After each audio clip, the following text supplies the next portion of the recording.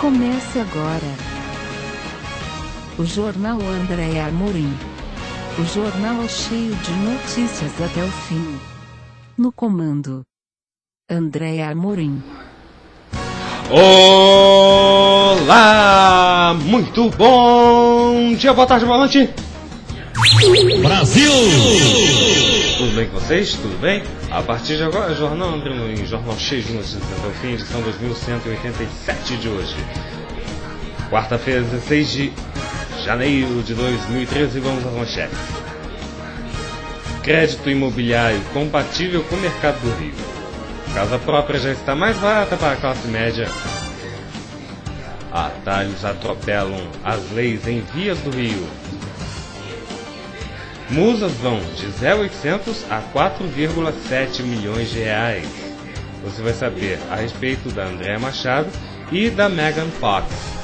Essas outras notícias de capa de um dia você vai saber, junto com algumas notícias do site do com a piadinha do dia. Hoje tem sido meu quadro da promoção Porta-Retrato do Dia, do seu Jornal do Dia. Começa domingo, lançamento da coleção Rico de Souza, produto exclusivo. Vários modelos para você escolher. A Aloha, linha masculina e feminina com proteção, UVA e UVB. Juntando 7 selos, pagando R$ 29,90, você receberá um, óculos do, um par de óculos do Rico de Souza. Promoção Óculos do Dia by Rico de Souza. No seu Jornal Dia, como o Rio gosta de ler. O Jornal André Mendes começa agora. Estas e outras notícias você vai saber logo mais no Jornal André Amorim, que já está no ar para você. Compre o jornal Dia, como o Rio gosta de ler. Os preços do jornal Dia são: de segunda a sábado, vinte centavos. Isso mesmo, um real e vinte centavos. No domingo, o jornal Dia custa o dobro, quarenta centavos. Isso mesmo, dois reais e o site de O Dia Online, www.udia.com.br. Repetindo, www.udia.com.br.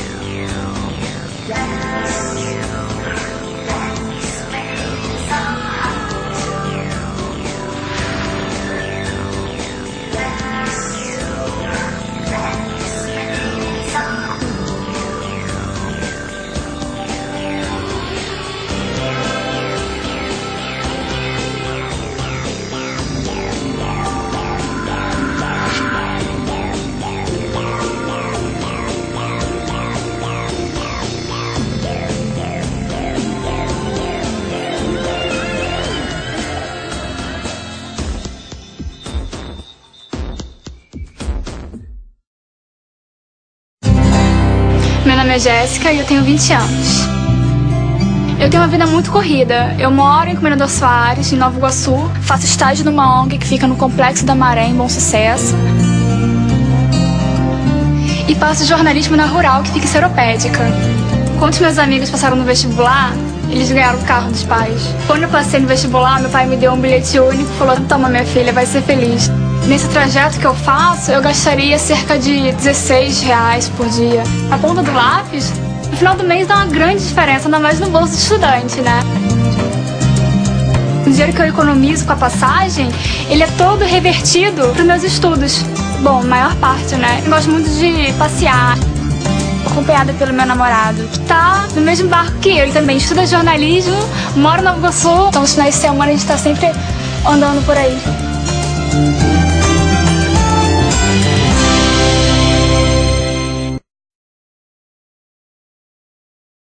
Sempre sonhei com um marido bonito, alto, inteligente. Você sempre sonha com o melhor. Com a casa é a mesma coisa. Chegou a Arpic Ultra Cloro Gel, o primeiro cloro em gel que adere até em superfícies verticais, removendo as manchas. A espuma ativa do detergente limpa melhor e deixa um cheirinho de limpeza. Afinal, você merece o melhor. Vamos. Novo Arpique Ultra Cloro Gel. Mais que cloro, o cloro dos seus sonhos. Que beleza de sapato, hein? Sapato não, engraxado. Isso aqui é Rafarilo, 100% em couro, legítimo, modelo italiano, rapaz. Ei, ei, mas você não vai falar do conforto, do estilo? É Rafarilo, tá aqui, ó. Escuta aqui, meu amigo. Quem é que te deu o primeiro Rafarilo? Você tava com o pé no lodo. Fui eu, eu te dei o primeiro Rafarilo. Você acha que ele dá alguma coisa pra alguém? Isso aqui eu ganhei numa aposta. Pelo menos uma coisa eles concordam. Sapato é Rafarilo. Tava com o pé na. Eu tirei, eu tirei. Será que eu tô esquecendo alguma coisa? Loção hidratante Hidra Mais. Mais hidratação e proteção para peles ressecadas. Mais tempo de ação e mais economia. É mais suave e deixa a pele mais perfumada. Agora você não esquece. Aliás, o meu corpo nunca esquece. Hidra Mais. Uma experiência inesquecível. Brasil? Sim, sim. Rapazes vão adorar, o Brasil é lindo. Pero no es tan bello como la Argentina. E as nossas mulheres? São belíssimas. Sí, claro, pero las chicas argentinas son más bellas. Sem falar um brasileiro que é divertido, hein? É muito engraçado. Nosotros somos mucho más engrasados. Tá bom. Dime una cosa, ¿tenés esta pero con la banderita argentina? Como é que é? Havaiana com bandeira da Argentina. Rapaz, vocês têm razão, hein? Vocês são muito mais engraçados.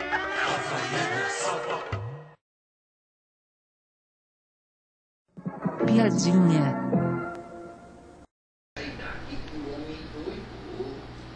Muito bem, muito bem, muito bem.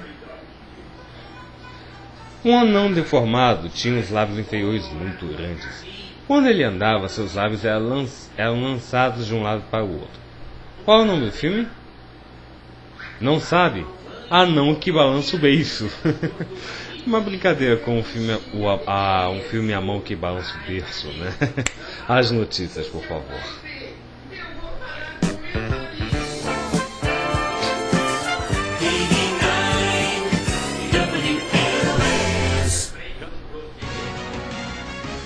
E agora, no Jornal Andréa Amorim, a notícia mais quente do dia. Crédito imobiliário compatível com o mercado do Rio. Casa própria já está mais barata para a classe média. Caixa reduz os juros na compra de imóveis acima de 500 mil reais. Para servidor público e correntista, taxas são ainda menores. Na página 21 de O Dia, veja condições para financiar. Atalhos atropelam as leis em vias do Rio. Na quarta matéria da série Caminho do Ouro, o repórter João Antônio Barros revela que contratos de concessão driblaram leis para beneficiar empresas. A Lança, por exemplo, vai, é, a linha amarela Sociedade Anônima, né? Vai lucrar 4 milhões e meio de reais a mais em um ano com pedágio. Na página 3, na seção Rio de Janeiro, internet vira arma em defesa de prédio do antigo Museu do Índio. Na página 14, na coluna de Léo Dias, na seção de AD, no caderno de como que, motorista da Globo morre após discussão com Zezé Polessa. Na página 12, na seção Rio de Janeiro, quebra de sigilo pode definir julgamento do ex-goleiro do Grêmio. Musas vão de 0,800 a 4,7 milhões de reais. Andrea, sem verba para desfilar. A atriz americana Megan Fox, caixa milionário de cervejaria. Andréa Machado desfila há 16 anos, mas vai trocar o Rio por São Paulo neste carnaval. Ela protestou nua, coberta apenas por pintura, contra a venda de vagas nas escolas que chegam a 200 mil reais. Megan Fox não sofre com isso, vai embolsar 4,7 milhões de reais para dar pinta em camarote. E agora, as notícias do site UFO Chico. Carl Castro substitui Isis Valverde na encenação da Paixão de Cristo. Isis alegou cansaço e desistiu do papel de Maria Madalena. Conforme o Fuxico já noticiou, depois de emendar dois trabalhos de sucesso, Avenida Brasil e o Canto da Sereia, Isis Valverde alegou estafa e desistiu de participar da encenação da Paixão de Cristo em Belém do Pará. Mas uma, mas uma substituta já foi escalada para o papel de Maria Madalena, Carol Castro. A jovem atriz vai se juntar à parte do elenco, que já está no Agreste Pernambucano. José Batista, que mais uma vez viverá Jesus, e Carlos Casagrande, que vive a Pilatos, já gravaram suas cenas para o material de divulgação. Marcos Pasquim, que interpretará este ano Herodes, desembarcar nesta terça, dia 15, no Recife, e segue para gravar as cenas do material publicitário no interior. Não será é, é em Belém, Pará? É, não será numa cidade pernambucana?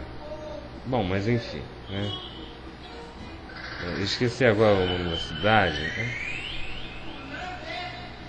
Muito bem, muito bem, muito bem.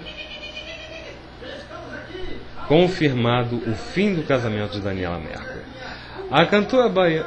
Ah, é, é, alguma coisa assim como Nova Jerusalém, Pernambuco, alguma coisa assim, né? É, vamos lá? Confirmado o fim do casamento de Daniela Mercury. A cantora baiana assume que está solteira novamente. Não! Não me abandone! Não me desespere! Porque não posso ficar sem você! A cantora baiana assume que está solteira novamente. Daniela Mercury anunciou oficialmente nesta terça-feira, dia 15, ontem, né, sua separação segundo o marido, o publicitário Marcos Scabia, com quem estava casado há três anos e morando em São Paulo. Segundo informações ao Fuxico de pessoa próxima à cantora, ela voltou a morar novamente em Salvador, na Bahia, em novembro do ano passado, e a decisão sobre o término do relacionamento foi em comum acordo. Daniela é mãe de cinco filhos, os adotivos, Ana Isabel, Ana Isabel e Ana, Ana Isabel, Ana Alice, de 10, e Márcia, de 13, bem como de Giovana, de 25, e Gabriel, de 26, do primeiro casamento com Zalter Povas, com quem ficou por 12 anos. A baiana havia se casado com um publicitário em Roma, na Itália, e ele continua morando na capital paulista.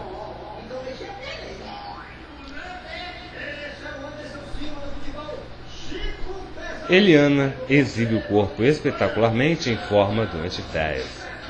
A apresentadora compartilhou as fotos de seu sossego no Instagram. Eliana está de férias, aproveitando para relaxar bastante.